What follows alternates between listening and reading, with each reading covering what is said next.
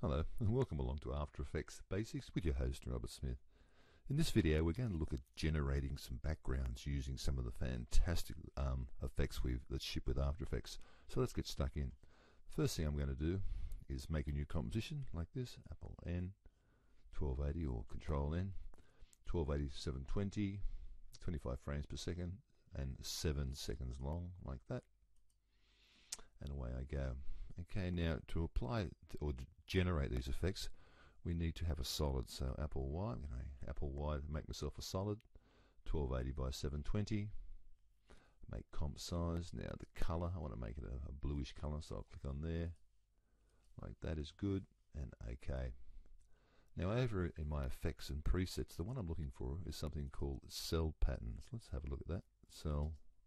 I'll just type in cell P and it'll find cell pattern for me.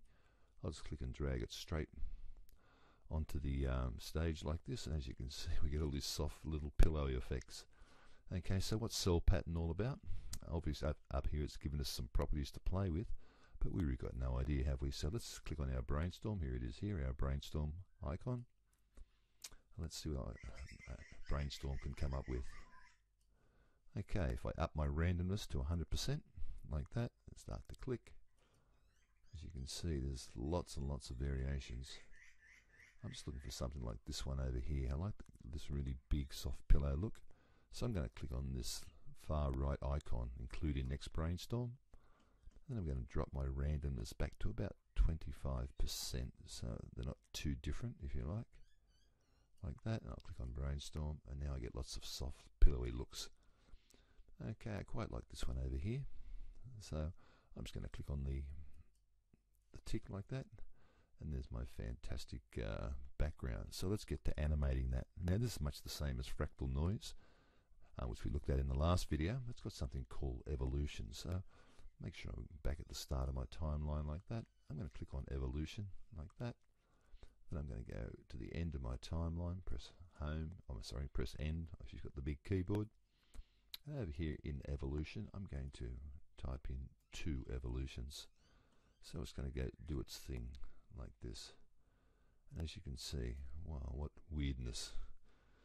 Get this fantastic little animation like that. Okay, so what are the options here? Now again, it's like fractal noise. Who knows what all this means over here? So let's have a look at cell pattern, what we've got. We've got crystals. We can make it look like that. We've got pillow. We've got bubbles, which is what we had originally. We've got tubular. Wow, that's pretty weird looking. Wow, look at that. Okay, so I might take it back to bubbles like this. What else can we, let's play with the contrast. If I up the contrast, uh, as you can see, I get more space between the bubbles like that. Now the disperse, let's see what that does. As you can see, you can actually make it square, which is not going to look very good. So we'll do that. And the size, we can make it really, really small, or we can make it big, and we can animate all these things over time. So let's animate some of this size. I'm going to go back to the start like this. We've already put some evolution on. So if I put a keyframe for size, then go to the end like this, and so it's going to get bigger over time. Very nice and very weird indeed. Very After Effects.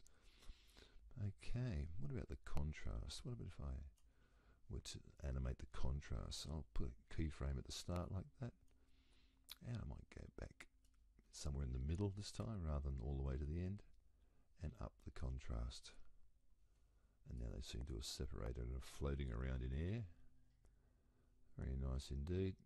If I want to bring that back, I'll just grab my um, current time indicator and I'll go in there and get my contrast again, just down the contrast so they'll come apart, then go back together again. Just dragging these numbers to the left over here like that. Not too far.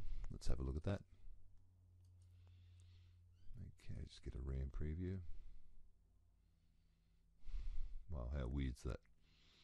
Okay, now if we want to add some colour to that, we have trouble actually um, blending it with the original solid. So what I'm going to do is I'm going to make another solid, actually like this. What I might do is just simply duplicate that solid, or that layer, Apple D to duplicate it, like this. And get back to that.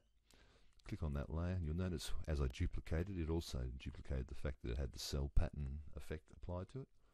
So I'm just going to click on that cell pattern and delete it. That's how you do it. Click over here, delete.